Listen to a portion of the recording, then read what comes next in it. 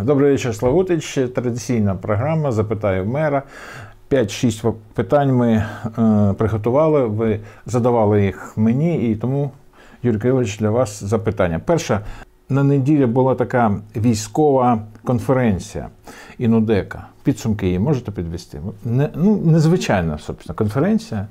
Абсолютно погоджуюсь. Добрий день, шановні славутичани. Е, Ми з вами працюємо вже в штатному режимі, так як ми доповідаємо всій Україні. Славутич працює в штатному режимі. І цей режим нам е, дозволив е, в принципі провести нашу науково-практичну конференцію. Зрозуміло, що з ключовим питанням це безпека в ядерній енергетиці, нові виклики е, щодо безпекової складової, і яка вона нова безпекова доктрина е, в е, атомній енергетиці в світі, не лише в Україні. Ми розуміємо, що ті правила, які існували до цього щодо невтручання діяльність атомних об'єктів в будь-якому разі. Е, Ядерний тероризм це було недопустимо в сучасному світі. Після 24 лютого все змінилося. Все змінилося докорінно. І сьогодні весь світ переглядає цю безпекову доктрину, і саме про це ми е, мали мову на нашій е, науково-практичній конференції, на нашій НУДЕКО. І мені сподобалось е, в підсумках вже самої конференції виступ одного із учасників за меж України, який сказав: ну тепер я переконаний 100%, що Україна переможе. Тому що Славутич, який лише місяць назад був е, під окупацією, який е, страждав від ізоляції, де були складнощі, де люди не знали, як їм знайти їжу, медикаменти, пальне. Вже через е, місяць проводить науково-практичну конференцію і задає питання такого глобального масштабу безпека в ядерній енергетиці. І я розумію, що у Росії шансів немає, якщо ця країна вже через місяць після деокупації міста проводить, проводить таку масштабну конференцію. Вона насправді була масштабна. Майже 200 учасників з усього світу, 20 країн світу було представлено своїми доповідями, своїми баченнями. А що ж далі? А як буде е, діяти ця безпекова складова е, в майбутньому, і як би ми хотіли її бачити всі разом? Ось про це йшла мова. І сьогодні цей виклик е, дуже серйозний. Дуже серйозний. Відповіді на ці питання поки ще не знайшли, але вони обговорюються, обговорюються на рівні МАГАТЕ, на рівні всіх громадських організацій світового рівня. Як захистити атомну енергетику від таких речей, які є сьогодні в Україні? Тому що Чорнобильська атомна деокупована, є там свої проблеми, які ми вирішуємо щодо її розграбування, по суті, техніку, обладнання, лабораторії, все знищили, все знищили мародерство в чистому вигляді. От ядерний тероризм завершився великим мародерством російської армії. То Запорізька атомна електростанція знаходиться під окупацією сьогодні, і там процеси непрості. В самому місті Енергодар. Ви знаєте, що ми підтримали енергодарців своїм потужним протестом, мирним акцією в місті Славутичі. Але разом з тим сьогодні ця територія залишається окупованою, точаться бої біля, біля цієї території, і ми переживаємо за наших близьких рідних людей. Ми переживаємо, що буде з самою Запорізькою атомною електростанцією і яка буде гарантія безпеки цього об'єкта. А далі, далі той виклик, про який я сказав, для всього світу, яка буде нова безпекова доктрина для атомної енергетики. Це було ключовим. Про це ми вели мову, і підсумки конференції згодом з'являться у вигляді збірки, яку ми протягом протягом літа надрукуємо, і вона буде в доступі. Доступ до записів конференції є на youtube каналі. Будь ласка, хто має бажання, може переглянути. Це два дні потужних дискусій, цікавих доповідей, не лише на безпекову тему, на тему досліджень, на тему Чорнобиля, зняття з експлуатації. Всі, всі, хто є фахівцями, всі, хто зацікавлений в цьому, будь ласка, перегляньте. І Славутич не зрадив собі, не зрадив атомній енергетиці, провів конференцію, незважаючи на непрості виклики сьогодення. Менш глобальне питання. З сьогоднішнього дня ми ну, дозволили продавати спиртне. А така синхронна відповідь Чернігів запретив продавати спиртне, аргумент ну, хуліганство, злочини і так далі. Ми не побоїмось, що що в нас буде також. Хотілося б е, на цю тему пожартувати. Ну, бачите, ті ж люди, які хочуть, вони ж повинні десь брати. Брали в Чернігів, тепер будуть брати в Славутичі. Насправді ми повинні розуміти, хто дозволяє, хто заборонює. Дозволяє, заборонює військова адміністрація. на території Київської області, до якої належить Славутич. А це робить Київська обласна військова адміністрація, в нашому випадку за погодженням з Вишгородською районною військовою адміністрацією, бо ми є ще Вишгородський район. Тому рішення приймаються саме на тому рівні. І коли е, був е, етап дозволу продажу алкогольних напоїв на території Чернігівської області, в місті Києві є дозвіл на продаж алкогольних напоїв, в Черкаській області це з того боку Київщини, е, то всі території, які прилеглі до Києва, до Черкаської області, до Чернігівської області, як, наприклад, Славутич, е, мали цю проблему. Ми це навіть називали алкотури. Коли люди могли в інший регіон виїхати, купити все, що їм треба, привезти своїм рідним, близьким, і це жодним чином не рятувало ситуацію щодо так званого сухого закону. Е, Да й взагалі в світі жоден сухий закон не досяг тої мети, заради якої він е, приймався. Тому ми так само будемо орієнтуватись по ситуації, дивитись, як зміниться у нас зараз картинка з е, злочинами, з правопорушеннями. Якщо вона буде кардинально змінюватися, якщо ця динаміка буде е, нам шкодити, то зрозуміло будемо звертатись е, спочатку до Вижгородської районної військової адміністрації, а потім і до Київської обласної, якщо буде така необхідність, щодо е, заборони знову продажу алкоголю. Тому споживати треба розумно і треба це робити так, щоб не нашкодити ну, в першу чергу своїм близьким, ну і собі в тому числі. У нас були випадки, до речі, під час так званого сухого закону, е, періоду сухого закону в Славутичі, коли були продажі, незаконні продажі алкоголю. Склад... Складені відповідні акти. Нацполіція все це зафіксувала, і я впевнений, що всі ці справи дійдуть до суду, і кожен отримає свою оцінку. Хто чим займався військовий стан, воєнний стан, коли е, точно повинно бути не до алкоголю. Це перше. А другий випадок був, коли купували взагалі неякісний продукт, і ми мали е, ну, прямо, е, прямо масове звернення до лікарні е, до 10 людей, навіть трошки більше, з алкогольним отруєнням. Тому і з цим треба бути обережним. Тому коли ми забороняємо, то ті, хто хочуть знайти, вони знаходять. А коли в нас є дозвіл, то робити це треба просто виважено, з головою робити, з розумом. А, Ніхто не забороняє, але це ж не означає, що треба зловживати так, щоб потім порушувати правопорядок. З іншого боку, це економіка. До нас зверталися мережеві магазини, бо вони найбільше страждали від того, що в Чернігівській області продаються. А ми ж унікальні. Ми ще маємо територію Чернігівської області, фактично в Славутичі. Да? Це територія, це територія нашого базару, нашого ринку. Там кажуть, просто шалені гроші платили за те, щоб орендувати клаптик землі і там продавати, бо там можна юрисдикція вже не нашої національної поліції. Вони не можуть за цим е, пильнувати юридично. Всі ж е, розумні, грамотні, знають, е, де, де територія юрисдикції Київської області, де Чернігівської, і там продавали цей алкоголь. А наші великі мережі торгівельні, які сплачують податки, які платять, виплачують офіційну заробітну плату, створюють робочі місця, не могли цього робити. І тому вони е, були в нерівних умовах конкуренції. Сьогодні ці умови вирівнялись, навіть змінились. Тепер не треба шукати клаптик землі на Чернігівській області, бо Словутич на території Київської області дозволив це робити. Чернігівська область тепер заборонила. Бо висновок зробила, бо не можуть там е, поживати алкоголь розумно. Сподіваюсь, Славутич може це робити, і тоді не треба буде забороняти. Якщо цього не буде відбуватись, ми теж будемо ставити питання про заборону. До речі, поліція готова до таких змін? Поліція готова до цих змін. Вони знають про ситуацію дозволу продажу алкоголю. А, Повернулись всі наші поліцейські офіцери громади. Є відповідний транспорт. Хоча сьогодні є проблема з пальним в усій е, Україні, по всій території України. Об'єктивна проблема з е, пальним це і посівна, це і е, обмежена кількість цього пального. Ми страждаємо всі від цього, в тому числі і комунальні служби. Ми теж маємо обмежений ресурс щодо наявності е, паливомастильних матеріалів, як дизельного палива, так і бензину. Е, Тому шукаємо, де його можна закупити для того, щоб забезпечити е, якісну роботу комунальних служб, в тому числі патрулювання національної поліції. Але те, що вони забезпечені сьогодні всім необхідним для якісного патрулювання, можу вас запевнити. Тому не варто ризикувати і перевіряти, чи це Конференції проводимо, спиртне продаємо, а святкувати День міста будемо. Продаж е, спиртного це ж не означає свято. Да? Це означає, що ми е, працюємо для кого як? Для когось і поминальні дні. І, і, і для цього інколи купують. Е, Я вважаю, що не на часі сьогодні казати про День міста, військовий стан ніхто не відміняє. І взагалі треба е, розуміти, що війна нікуди не поділася.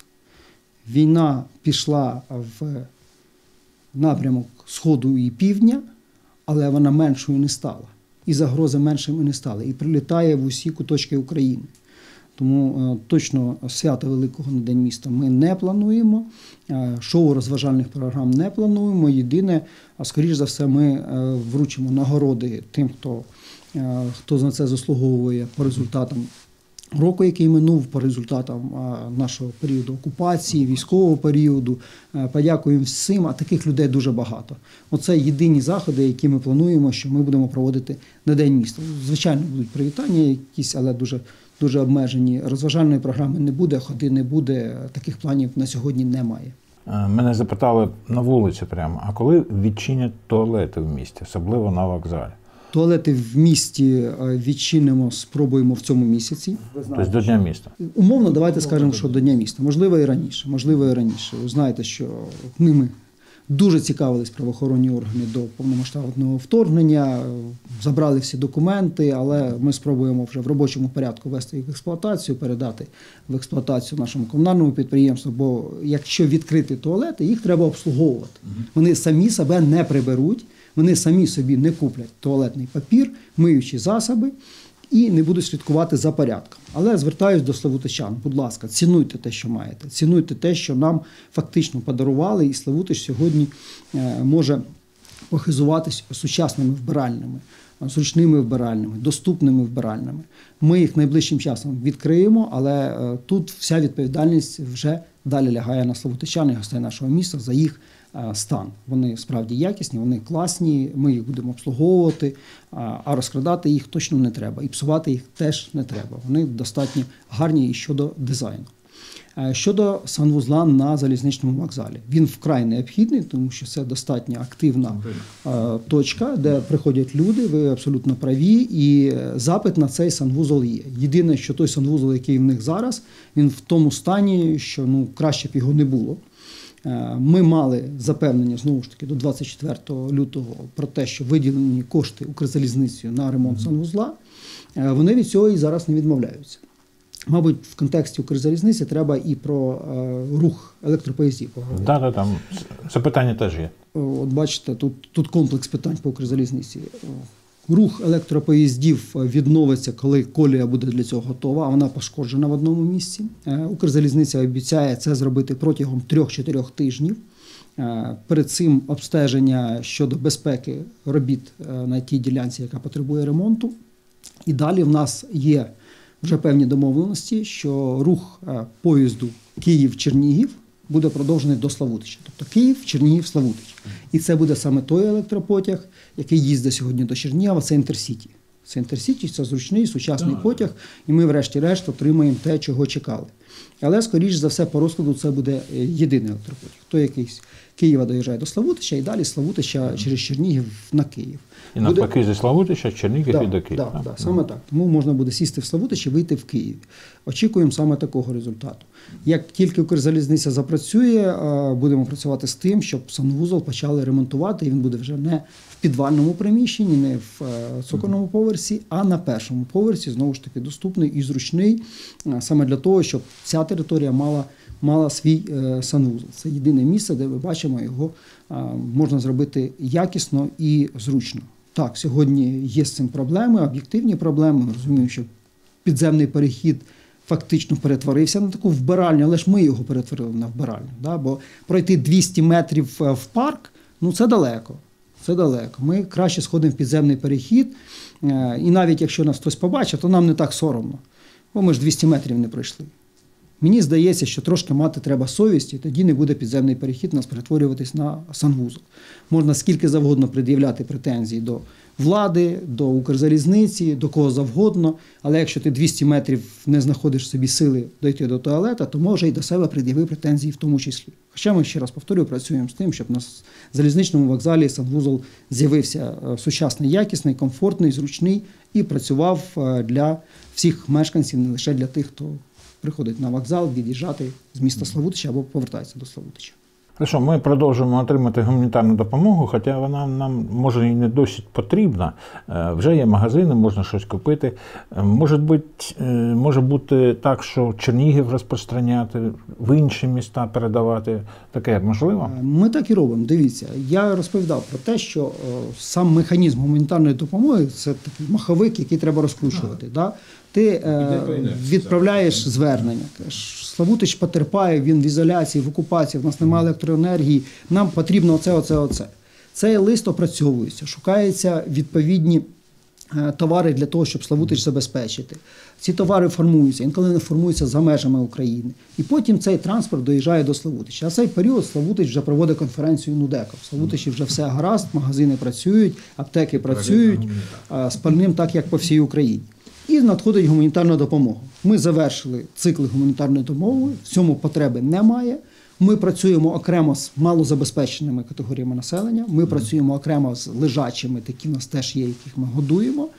І ми маємо е, на зберіганні те, що не швидко псується і що може нам знадобитись. Хотілося б, щоб воно ніколи не знадобилось. Ми будемо розуміти, що його термін використання залишається там півроку або менше, і будемо його використовувати. Ну, як приклад, чому б ми не могли б це використовувати, в тому числі для харчування дітей в школах. І тоді можемо знизити оплату для батьків в їх частині або в дитячих садках. Але це на майбутнє. Це на майбутнє. Сьогодні це сформований запас. Якщо гуманітарна допомога до нас надходить та, яка не швидко псується, ми можемо її або складувати, або пропонувати іншим громадам, і ми це робимо. Так само, як з медикаментами. Насправді є е, велика кількість пропозицій по медикаментам, і ми пропонуємо і з Черніговим працюємо з Чернігівською областю, навіть не лише з містом Чернігівом, дуже активно. І не лише з Черніговим, з іншими громадами, е, як е, тими, які були під окупацією, навіть тими, які не були під окупацією, але потребують сьогодні допомоги. Ну, наприклад, е, центральна частина України, яка фактично є тиловою, але вони отримали таку шалену кількість переселенців. А сьогодні ще до них в госпіталі е, надходять е, поранені наші хлопці Збройних сил України, і вони потребують е, певних речей, а в нас вони є. Ми з задоволенням ділимось, передаємо. І сьогодні вся Україна працює як єдиний злагоджений механізм. Ці зв'язки горизонтальні, не вертикальні від влади до місцевого самоврядування, а між містами, між громадами, від найменшого міста до найбільшого, від найменшої громади до найбільшого обласного центру. Все це в шаленій комунікації. Ми всі знаємо. В кого що є, хто чим може допомогти, і з задоволенням долучаємось. Ми навіть е, один з е, Starlink, який в нас ну такий в запасі був, е, поділилися з Чернігівською областю, де є потреба, де немає. Сьогодні інтернету, де немає зв'язку, кабелі пошкоджені, їх відновлювати не так просто. Ми переконуємось в цьому і на досвіді Славутича. Не все так однозначно. Так, деокупація відбулася, але війна продовжується, готуватися до неї також треба. Тому ми ділимося цим. Звичайно, ми всім ділимось. І коли йде пропозиція до Славутича, ми вам готові провести оце. оце. Почекайте. Ми зараз дізнаємось, кому це потрібніше, і перенапаруємо вас. Є те, що не доїжджає до Славутича, бо в цьому немає сенсу. Це зайва логістика. Е, Все це відпрацьовано, все це е, справді контролюється для того, щоб ми не брали собі зайвого. Хоча інколи бувають ну, такі от е, волонтери, які приїхали, ми вже привезли. Привезли пиріжки, вони ще гарячі, будь ласка. Да? І ми тоді шукаємо тих людей, яким їх просто треба роздати. Бо і ображати хлопців, які привезли, сказати, та нам не треба, ну навіщо? Ні, дякую. Ну, дякуємо, бо, бо люди старались. Бо той, хто хоч раз спробував спрацювати волонтером, щось привезти, розуміє, наскільки це непросто і важко. І останнє запитання на цієї неділі, 8 травня. 9 травня це не наше свято, ми його не святкуємо. А от 8 травня будуть якісь ну, зустрічі, я не знаю, може бути е, звіти якісь, зустрічі з ветеранами. Ну, Це День пам'яті, День е, Другої світової війни. Буде звернення, звичайно. Ви знаєте, я вчора мав з цього, мабуть. Вчора мав зустріч з людиною, яка жила в Донецьку до 2014 року. І він мені розповідав про те, що до 2014 року він не розумів, що таке війна, хоча йому розповідали його вже знайомі про Чечню, про те, що відбувалось там. І це сприймалось так: ну війна, ну, ну стріляють на війні, вбивають людей, да, мабуть, так. І коли в 2014 році почалось там, я зрозумів, що таке війна на власному досвіді, через власні емоції.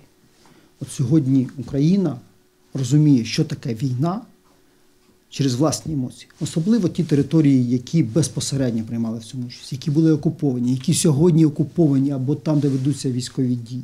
Ми просто переосмислили, що таке війна. Ми тепер чітко розуміємо, наскільки це боляче. Тут точно не про свято, тут точно не про геройство навіть. В будь-якій війні є свої герої. Без цього війни не виграються, без цього не буває війни. Але ми точно маємо переосмислити відношення своєї до війни. Тому, якщо ми кажемо про заходи щодо 8 травня, це день траурний, день примирення, День день, день пам'яті. е, Але ж ми переосмислили все це абсолютно по-іншому. Ми кажемо, ті, хто приймав участь в нищенні фашизму, і для кого 8 травня повинно бути уроком на все життя, що так не може робити жодна країна в світі, жодне суспільство, сьогодні демонструє те саме по відношенню до нас, до всього світу. Сьогодні рашизм і фашизм абсолютно дотожні поняття, однакові поняття. Я знаю, що залишаються ті, хто переконані, що ні, все не так. То була велика вітчизняна, тут все по-іншому. Ні, шановні, це війна. І рашизм дорівнює фашизму сьогодні. Це треба усвідомити раз і назавжди. Ми прожили це все з вами. Гинуть наші рідні, близькі. Практично в кожній родині є той, кого ти знаєш, і він загинув. Наші славутичські герої, які загинули в Славутичі, наші хлопці, які гинули в АТО в 2014 році, все це наші втрати військові, все це наші втрати війни. Війна може тільки знищувати. Не може війна приносити перемогу, радість. Перемога це завжди сльози, це завжди боль, біль страшенна. І тепер розумію, що таке свято з сльозами на очах. Да? Бо це справді сльози. Я, можливо, занадто емоційний зараз, але ми це все переживаємо.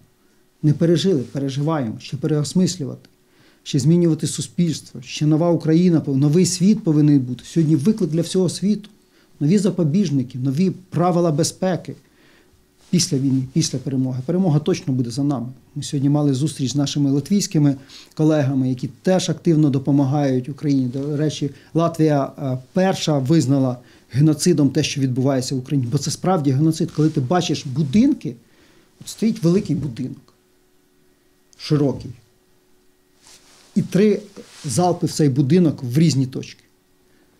Це не військовий об'єкт. Це означає, що знищували будинок, житловий будинок, знищували українці.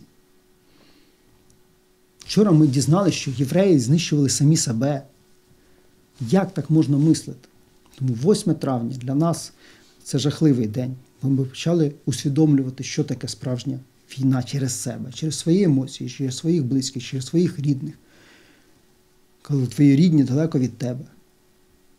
Коли ти навіть вже після деокупації повертаєшся додому, а там пусто.